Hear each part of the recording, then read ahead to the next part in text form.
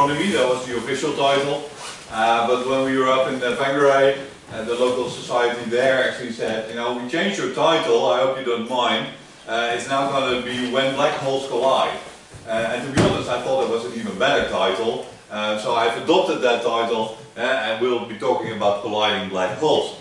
Um, indeed, this is a very new uh, field of astronomy. Um, so I'll start actually much closer to home uh, on familiar turf uh, here in our own solar system with the Sun. Um, the Sun is our star, here shown to, uh, to size with the Earth, uh, but actually not to distance. Uh, luckily we are much further from the Sun than in this picture. Um, but the Sun is a glowing ball of gas and uh, it is eventually the way we get our energy here on Earth. Um, and the sun shines, as we have noticed nicely today as well, the sun shines because it's hot. And anything you make hot will actually start shining. You notice if you put a poker into the fire, you see that at one point it starts to glow, eh, it becomes hot, it starts to radiate, it loses energy. And the question is, why does the sun lose energy? Why actually is the sun hot? Well, that is because the sun is in equilibrium between two forces. On the one hand, we have the force of uh, gravity, here denoted by the, uh, the black arrows, trying to get all that gas in the sun in a volume that is as small as possible. So gravity will always try to get all the mass closest to, closer together. At the same time, uh, we have gas pressure pushing outwards. This is the same as in your tires, that's why you uh, have such a comfortable ride in your car, because the gas pressure actually keeps this inflated. So those two forces between uh, gas pressure and gravity are in equilibrium with each other. And as long as that is the case, the sun will actually be as large as it is. The problem with that is that uh, to get that gas pressure going, the gas needs to be hot. Um, and hot gas glows, so it loses energy on the outside. So the thing is that uh, all the energy that is lost on the outside needs to be replenished. And it is replenished in the center of the sun. So the sun runs uh, uh, nuclear fusion in its center uh, to basically compensate for the losses of energy on the outside of uh, the, the star, to keep this equilibrium going. And the way the sun creates energy in the center is through nuclear fusion, and specifically the, the fusion of hydrogen into helium. So four protons, which are the cores of the hydrogen atom, fused through a nuclear fusion chain eventually to helium. And that process is the most efficient way of generating uh, energy that we know of, um, much more than uh, nuclear fission. Uh, this is nuclear fusion, so you actually fuse the elements together. Uh, and the sun, sun does this very uh, efficiently in the center, uh, but still, to be able to withstand gravity, it needs to consume a thousand of these supertankers full of hydrogen per second. So the sun is turning every second, it's using 600 billion tons of hydrogen into a helium every second.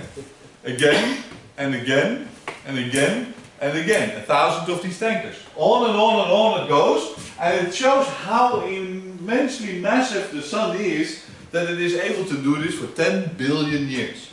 The lifetime of the sun doing this nuclear fusion is 10 billion years. We're about halfway, and the sun is 4.6 billion years old, the same as the Earth, because the Earth and the sun were uh, formed at the same time. So it still has 5 point something billion years to go, but it turns this, this hydrogen into helium for 10 billion years.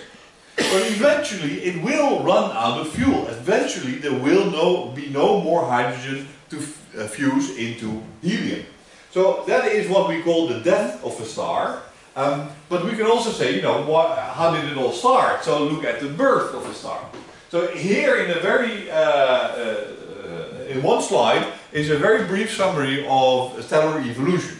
When I teach this course to my students, I, it takes seven weeks, but I'm sure that I can do it with you in seven seconds. Um, so we have uh, a gas cloud in interstellar space that for some reason collapses. It becomes unstable under its own gravity and starts to collapse. It might be that it's triggered by a nearby supernova or another galaxy passing by.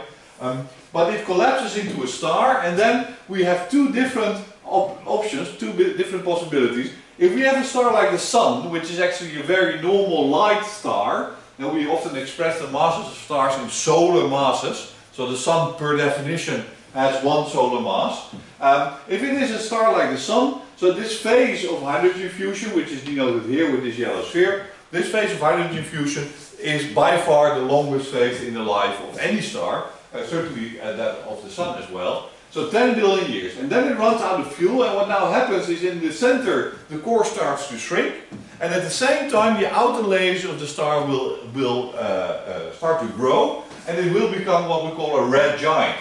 At that point the Sun will be as large as the orbit of the Earth around the Sun. So what you have to imagine is that at that point, some, some 5 billion years into the future, the Sun will fill half of the sky and not just be this little sphere there, but it will fill half of the sky. It will have cooled down a little bit because it's no longer 6,000 degrees at that point, but only 3,000 degrees. So it will show a little bit reddish, but uh, it will fill half of the sky. Eh, sky. Um, so the eventual fate of the Earth is that it will be scorched. Um, because you can imagine if the sun fills half of the sky and it is 3000 degrees, it's going to be pretty hot here. So basically at that point, uh, all of the Earth will look like Australia. Um, it's just scorched, it's just nothing left. Um, then the next phase is that those outer layers get uh, uh, ejected into outer space in a rather gentle process, which we call a planetary nebula. It has nothing to do with planets, but it is a historic name. Um, so it's basically the expulsion of the outer layers of the star like the sun and the burned out core sits in the middle and that core actually evolves into what we call a white dwarf. And a white dwarf is an object that has half of the mass of the sun in a volume only the size of the earth. So what that means is that the density of the object is pretty high.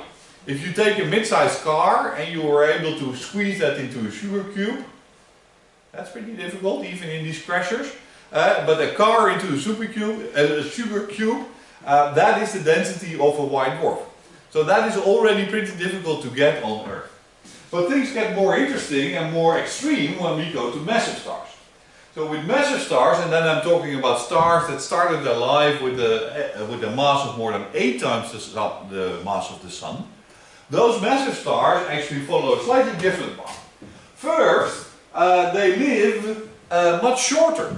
Even though they are much more massive, they actually consume that fuel at a much more rapid pace than a star like the Sun. So instead of 10 billion years of fusing hydrogen into helium, it may only take 10 million years, so a thousand times shorter, 10 million years, for that star to consume all of its fuel. Uh, so stars are like cars, hey, the bigger the car, the, the more often you are at the fuel pump uh, because they're more inefficient. Um, so these massive stars, they actually fuse that hydrogen into helium and subsequently helium into carbon and oxygen, that is also done by the sun, but then carbon oxygen to silicon and magnesium and eventually to iron. And iron for us is a rather ordinary element, there's nothing strange about iron, we use it every day, uh, but iron actually is a very special element because it is the most bound element. If you fuse two iron cores together, you don't get energy out of that process, but it, uh, you need to put in energy. Um, so nuclear fusion stops at iron. Regular nuclear fusion stops at iron. Um, and then at that point, the uh, source of energy in the center of the star disappears. Right? There is no way that the star can actually make more energy out of fusion. So then gravity says, ah, thank you, I'll just collapse the star. So the inner parts of the star, that iron core, now collapse and actually form a sphere uh, that, uh, what we call a neutron star, a sphere that is only 10 kilometers, 10 kilometers in radius, but it contains one and a half million, uh, one and a half times the mass of the sun. And to put that analogy again of a sugar cube, now you don't have to put a car in a sugar cube to get that kind of density, but all of mankind. 7 billion people, if, the, if somehow we're able to squeeze all the people on Earth into a sugar cube, that is the density that you get in a neutron star. what happens is that neutron star is formed in the center of the star and it is basically an extremely stiff, hard ball in the center of the star. And the outer layers now start to fall onto that, but they bounce on that. And because of the conservation of momentum, what happens is that in the bounce, the outer layers get an enormous velocity of more than 10,000 kilometers per second. So in 4 seconds you would be around the Earth. Uh, uh, 10,000 kilometers per second. And that matter is ejected into outer space uh, in a giant explosion which we call a supernova. So a supernova, or more specifically a core collapse supernova, is the end of a very massive star. Um, and in that process then what le is left over is either the neutron star or if too much of that additional mass is accumulated on the neutron star, we get a black hole. And a black hole is therefore the end product of the life of a very, very massive star. Those massive stars are really rare. It's no more than 1% of all the stars that actually follow this path and 99% of the stars that follow that path. Um, but still, with 100 billion stars in our own Milky Way galaxy, uh, black holes are uh, created quite often. Uh, once every century or maybe once every couple of centuries. A new black hole is formed in our Milky Way galaxy. And so these neutron stars and black holes, they are very extreme objects. As I mentioned, if we take the island of Manhattan or Auckland or something like that, at two sides, a neutron star would then be a radius of 10 kilometers, one and a half times the mass of the sun. And a black hole, yeah, well, you know, is it possible to put a size on a black hole? Uh, yes, it is. Um, and that size is the Schwarzschild radius, which you just mentioned. Um, that, that was in the correspondence between Einstein and Schwarzschild. Um, he calculated the Schwarzschild radius as the event horizon of a telescope. Now, what is a Schwarzschild radius and what is an event horizon? So, for any body that has mass, you need a certain uh, velocity to get away from it, to break free of that uh, object. So for the Earth, uh, which is a, has a pretty high mass, um, we need a certain uh, velocity to get away from it. If I can jump up, I'll come down again. If I jump up even better, uh, I'll get a little bit higher, not much, uh, but I will come down again. I would need to get a velocity of 11 kilometers per second to be able to break free of the Earth. So for instance, the satellites that we send out to the outer planets, like New Horizons, which uh, in a few months we'll encounter again uh, one of the outer bodies in the solar system, uh, to really get free of the solar system, and if you start at the sun, you need to get a velocity of 600 kilometers per second. Um, so the, the escape velocity from the sun is already 600 kilometers per second, so much more than the Earth, which is 11. Um, to break free of a neutron star, you already need to go at half of the speed of light. So you need to go at 150 kilometers per second to break free of the surface of a neutron star. Uh, if you don't go that fast, inevitably you come back down again. Now what Schwarzschild and Einstein were doing, sort of uh, calculating uh, is, okay, well, suppose that I were to compress this even more, this neutron star, would there be a moment where the escape velocity would exceed the speed of light? At that point, nothing would be able to escape from this object anymore. And that point, when the escape velocity is equal to the speed of light, is what we call the Schwarzschild radius. radius. And that is also what we uh, generally call the radius of a black hole. So for an object with uh, a mass of one and a half times the mass of the Sun, that Schwarzschild radius would be four and a half kilometers. So if anything gets within four and a half kilometers of the, singularity which is at, the center of the black hole, um, to get away from it again, it would need to be going faster than the speed of light. And nothing can go faster than the speed of light, not even light. Um, so that is why we call a black hole black. Uh, it is dark, there's nothing being emitted from within the Schwarzschild radius. And a more proper way of thinking about a black hole is as an information barrier. So basically what it means is that once you're inside the Schwarzschild radius, you're decoupled from the rest of the universe. There's no way that you can communicate again with the people outside of the uh, Schwarzschild radius. So, for instance, if you were to yeah, give me that camera uh, and you throw me into a black hole, I can record what's happening. And it just keeps on recording, keeps on recording, and I go through the Schwarzschild radius. Let's suppose this, this bench is the Schwarzschild radius, I'm now inside the black hole. I can keep recording what's going on. and so I now have, for me, solved the, the, the puzzle of what's inside the black hole, but there's no way that I can tell you about it. Because that information would need to go faster than the speed of light to reach you, and that is not possible. So this is the, the definition of a black hole. Uh, and we have quite a few of them, and this is a, another depiction of a black hole. So here's the actual hole with and the information barrier. So that a Schwarzschild radius is also often called the event horizon. And so this is the horizon from which, uh, beyond which, we will not see any events, any information anymore. So in, inside, uh, what's happening inside this black hole, we have no idea. Mathematically, there should be a singularity in the uh, center of the black hole. And singularity means that um, the, the, the disruption of space-time goes to infinity at that point. That is the mathematical description. I am an, an astronomer, a physicist, and I, I don't deal with uh, mathematics. Well, I do deal with mathematics, but singularities sit quite poorly with me. Um, I don't know what's happening inside that black hole. Is there still matter? If I throw in a car, I'm throwing in actual matter. I'm throwing in all bits of iron and rubber and whatever, a couple of wheels. Um, so where do they stay? What, what's happening there? And that we actually don't know what's going on. Uh, and unfortunately, there's no way to find out. Um, black holes often uh, are accompanied by uh, disks of gas. For instance, if there's a companion around it, another star, um, or if it's in the center of a galaxy, then it has a gas disk around it, which we call an accretion disk.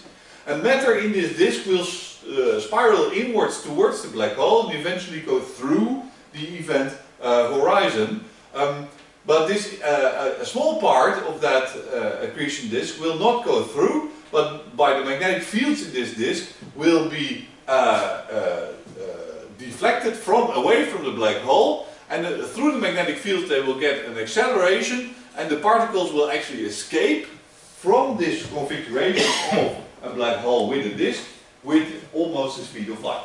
And that is what we call a relativistic jet. Um, and so these, uh, sometimes you see these relativistic jets and it looks like they are particles that come from the black hole, but they're not. So this is part of the disk, gas disk around it, uh, that now gets ejected into outer space with almost the speed of light. So it's actually these particles that get reflected outwards and then poof, they being sent off into infinity. Um, a common misconception about black holes is that they suck in matter. This is uh, what we always see in, in, in bad movies and uh, sometimes in, in, in, bad journalism, uh, that they suck in matter. Uh, black holes have gravity, yes. They're the same like the Earth has gravity. Um, and the Sun has gravity. But black holes don't have an additional force that really actively sucks it in. If we were to replace the Sun right now with a black hole uh, of the same mass of the Sun, so one solar mass of black hole at the position of the Sun, nothing would happen with the Earth. The Earth would just keep on going in its orbit around now the black hole for eternity. Um, the light would go out, that's the thing what would happen. Uh, but it's not that all of a sudden the Earth all gets sucked, uh, gets sucked into the new black hole. Um, so these black holes, they're, they're quite common. Uh, as I mentioned, they are made at the end of life of very massive stars.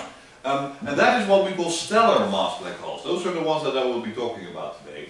And we know another type of uh, black hole, which we call the supermassive black holes. And they have masses of a million to a billion times the mass of the Sun. So much, much more massive than the ones that we will be talking about. Um, and they sit at the heart of a galaxy. So also in our Milky Way galaxy, we have a supermassive black hole of 4 million solar masses, Uh, but I won't be talking about those supermassive black holes. I'll be talking about the stellar mass black holes. Um, and um, the one thing that is also interesting about the Sun is that it is going through life alone.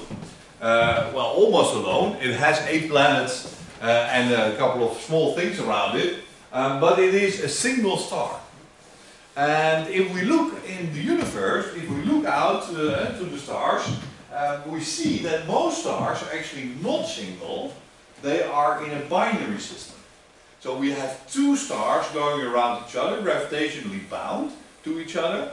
Um, and if they are close enough, and, uh, sorry, and uh, a very famous one is Sirius, uh, the brightest star in the sky, it was actually found that Sirius, the one that we see, has a very faint companion, which is actually one of these white dwarfs, so these stellar remnants of low mass stars, uh, called Sirius B, and it goes around this in about 75 years. Um, if the two stars are close enough, uh, very interesting things uh, happen during the evolution of the two stars. Um, so suppose that we have two very massive stars, and it turns out that massive stars are almost always in binaries. So 100% of massive stars actually is in a binary of even a multiple system, so with more than uh, two stars in one system. Um, suppose that we have two of them, so a very massive one and a slightly less massive, but still one that can go supernova. If we then follow the evolution, what happens is that the, the more massive one is the first to evolve away, to consume all of its nuclear fuel, swell up, and actually explode as a supernova. And if it's really massive, that would form a black hole. Now the second one is basically unaltered during this process, but it is also massive enough to uh, process all that uh, fuel into iron and then have uh, another supernova going off. So now we have a supernova going off around an object that is already a black hole and the product of this might be a binary black hole. So two black holes that go around each other. Now that would be very interesting to see what happens around there. Um, so uh, from a binary evolutionary point of view, uh, we would love to see a binary black hole. Um, we can try and do this with an optical telescope, and I can show you a picture. This is what a binary black hole looks like with an optical telescope. Right? Clearly, it's there. And the, the, the defining character of, of a black hole is that no light is coming out. We close the curtains? Sorry? Can we close the curtains? Sorry. Yeah, yeah, yeah. Then, then maybe we can see it better then, right? Um, so there's no light coming out whatsoever. So with optical telescopes or with radio telescopes or UV or, or uh, X-rays, gamma rays, they all use light. They all use electromagnetic radiation. And there's no way to see a binary black hole. And this is the, the, the, the, big breakthrough that we've had over the last few years because there is one way of actually finding a binary black hole. And that is through gravitational waves. So in 1916, a few months after Einstein published his theory on general relativity, he himself actually realized that something else should be happening if his theory was correct. So what does uh, general relativity describe? It describes the structure of space and time. And uh, Einstein said, well actually space and time are not uh, separate things, they are basically the same. We know of three dimensions of space, up, sideways, and that ways, and then there is time, which is also going in a certain direction, and for us it's always going in the forward direction. But you actually should see, should see that as one thing, space-time, think about um, Space-time, and space-time is not nothing. Space-time forms a structure in the universe. It is a framework in the universe in which things move and happen, etc. Um, and the only way that you can influence space-time is with mass. If there's mass somewhere, it deforms space-time in the sense that it makes the path of anything moving through space and time uh, curved. So it deviates, uh, it makes the path deviate from the original path. So if I, you know, were to go through space-time and I have a certain velocity, uh, I would get a very regular pattern moving through space-time.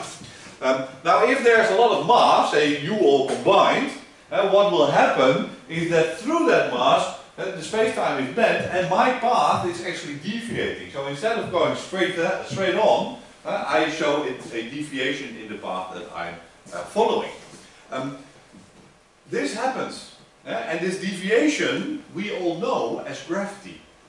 And this is what gravity does. If we have a very massive object, like for instance the Earth, and then anything moving uh, through space that comes close to the Earth is now being deflected in its path through gravity.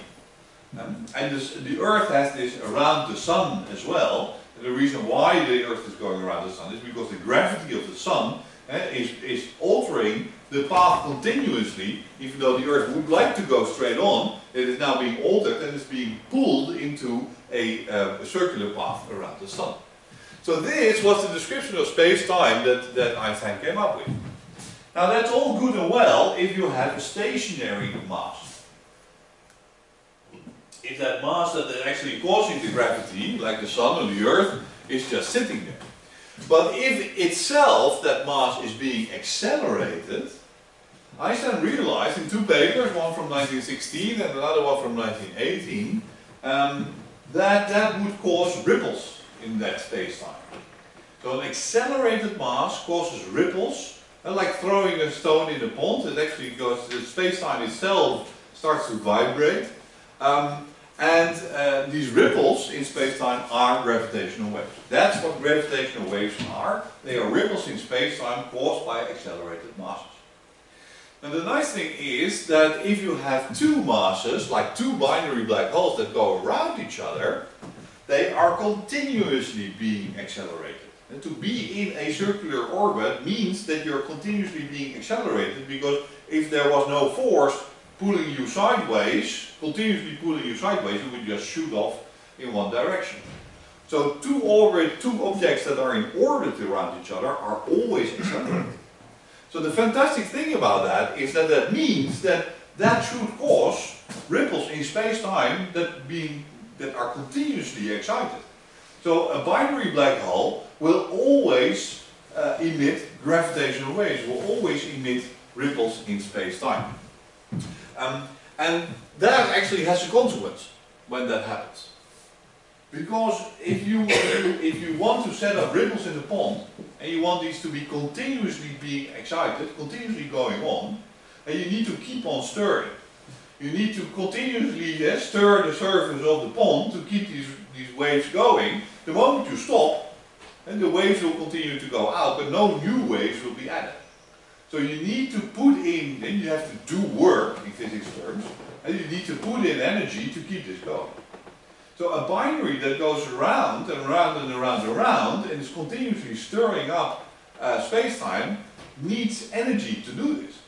And that energy can, can come from only one place, and that is the binding energy of the binary itself. In other words, the distance between the two objects. So because it is losing energy, uh, it is at the expense of the separation between the two objects.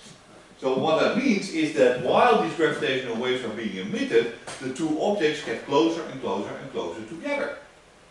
In other words, uh, if we were to follow this in time, what we would see is that these ripples in space-time would occur, but as this, the two stars or the two black holes come closer and closer together, the amplitude of this goes up, because the closer they are together, the faster they go, and the higher the acceleration is that they, that they feel, and therefore the, the, the larger the amplitude is of the ripples that are being uh, made by this uh, binary, um, so the amplitude goes up, but what we also see is that the frequency goes up, so the, the separation between the, the crests is getting shorter and shorter as we progress. And that is because the binary is losing energy. So it's also coming closer together and going faster and faster around each other. And you can imagine that eventually this, this leads to disaster.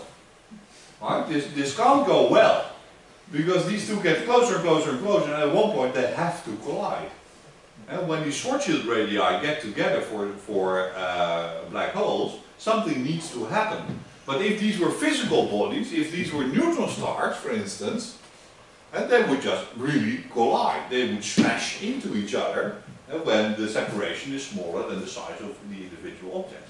So things happen. So this was realized by Einstein in, in, in, in 1916 already. Um, but he said, you know, at his time, in his time we didn't know about neutron stars. Uh, the concept of black holes was around, but that there could be a binary black hole following from binary evolution, that was unknown. Um, but he already doubted that gravitational waves would ever be detected. And the reason is the following, that the amplitude of these ripples in space-time being set up is extremely small. In other words, space-time is very stiff. It's very difficult to excite it. Um, and we can actually try to understand how difficult it is to do this. What type of precision do you need to be able to uh, measure these ripples in space-time? Now suppose, uh, so this is Einstein thinking about this, well this is actually an example I took from a colleague, uh, but it's very nice. Suppose you have a large body of water, Lake Taupo, well known to you, not too far from here, uh, biggest lake in, in New Zealand. Um, Lake Taupo has a um, surface area of 616 square kilometers. And so it's something like 20 by 30 kilometers um, uh, in surface area. Um, that is 6.1 times 10 to the 12, uh, so 6.1 and then 10, uh, 12 zeros, square centimeters. Very small, square centimeters, so there's lots of them. Um, and now, uh, what we're doing is that we're adding one drop of water to Lake Taupo. A single drop of water. And even a pretty big one, because it is a, a, a cubic centimeter, so a cubic cube. We're adding that one drop to the whole lake. And nothing else changes. It's just the one thing that changes. Now conceptually, you can understand that the level of the lake needs to go up by this. Right? It's clear. Because we're adding, uh, yeah, I got two cups of water here. I didn't even ask for it, but now I can actually do this experiment, right, right here. And so this one is uh, a little bit full. That's full. If I add uh, a drop, that's more than a drop, then the level went up. So the same will happen with Lake Taupo. If I put in an additional drop of water of a cubic centimeter, the level will go up. And now we can calculate by how much. So dH, delta H, is the, the, the amount of uh, level, water level rise in Lake Taupo by adding one droplet to it. So that is 1 over the surface area, because that, that drop spreads itself over the whole surface area. Um, so there's 1.6 times 10 to the minus 13, it's difficult to see with the projector, but it says minus 13. So that is 0.0000000000016 centimeters. That is the level by which Lake Taupo went up, because I let one additional drop into the lake. Um, now, next to a, an absolute value, we would also like to know relatively how much did the, the water level uh, change. So then we have to look at the, the average depth, which is 110 meters. So the relative change in the water level is that that change delta H here, this tiny little number, now divided by 110 meters. And this is 1.5 times 10 to the minus 17. That's the relative change. Uh, and that is this very, very tiny little number. Um, this is the kind of precision that any experiment that wants to get gravitational waves, that will want to detect gravitational waves, needs to be able to do. So we need to build a machine that is actually able to measure the effect of us adding a single drop of water to Lake Taupo. So a normal water gauge will, won't do it, right?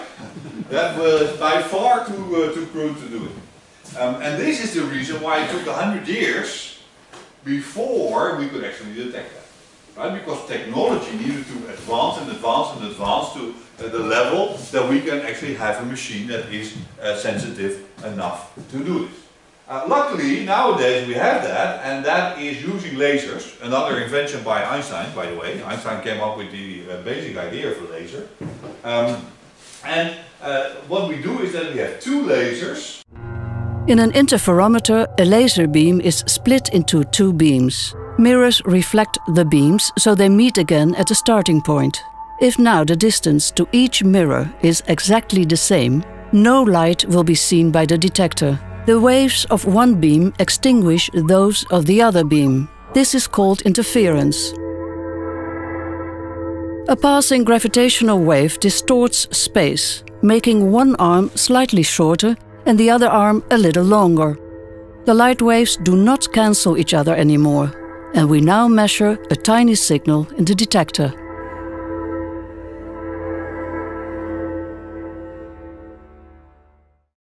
Now you can do this in the lab, you can just set up uh, a laser system that does that, but that isn't big enough.